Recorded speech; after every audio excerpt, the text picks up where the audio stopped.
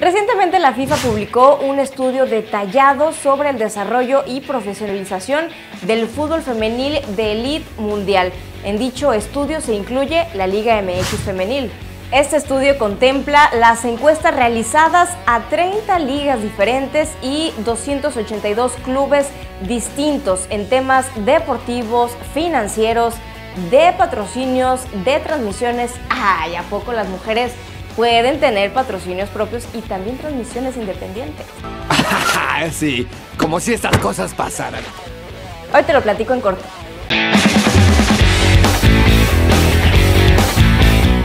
Tampoco descubrieron el hilo negro, pero sí confirmaron algunas cuestiones importantes. Por ejemplo, la importancia de tener instalaciones de calidad.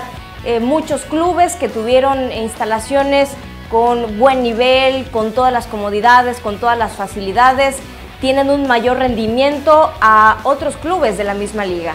O sea, las canchas de tierra no valen. De preferencia En verdad que Dios decía. 50% de los equipos que tuvieron acceso a mejores instalaciones conquistaron el título nacional en los últimos cinco años frente a un 23% del resto que no tienen tan buenas instalaciones. La transmisión y retransmisión del fútbol femenil representa una oportunidad de crecimiento significativo. Los ingresos por retransmisión de partidos suponen el 6% de los ingresos de un club y el 18% de todas las ligas analizadas. Los equipos que ofrecen abonos, ay, ¿a poco, ¿a poco pueden haber abonos para, para los partidos femeniles? En abonos les pagan. Eso me parece más viable y cierto. No encuentro fallas en su lógica. En fin, los clubes que ofrecen bonos exclusivamente para los partidos de femenil obtuvieron más presencia de aficionados, 1.400 espectadores contra 1.000 y obtuvieron además más ingresos, 800 mil dólares frente a 300 mil dólares.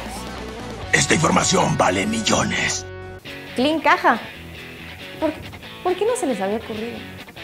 Parecen nuevos. Sus necesidades no son problema mío. Las ligas que negocian derechos de retransmisión exclusivamente para el campeonato femenino generan 700 mil dólares, frente a 100 mil que registran las ligas que no lo hacen.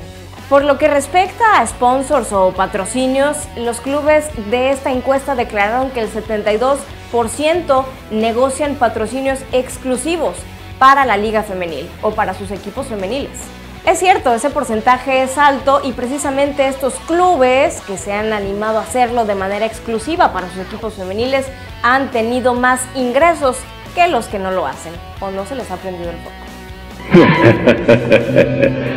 Simios imbéciles. Como lo decía en un inicio, no se trata de descubrir el hilo negro. Este informe simplemente confirma de que hay un nicho de oportunidad muy importante en el fútbol femenino patrocinios propios, transmisiones propias y también una economía separada a la de los equipos varoniles. En eso se tienen que fijar los clubes actualmente y también para las marcas deben de entender que el fútbol femenino es un nicho de oportunidad efervescente y muy importante para que se expongan justamente ahí. Vaya descubrimiento. Gracias, esto fue en corto.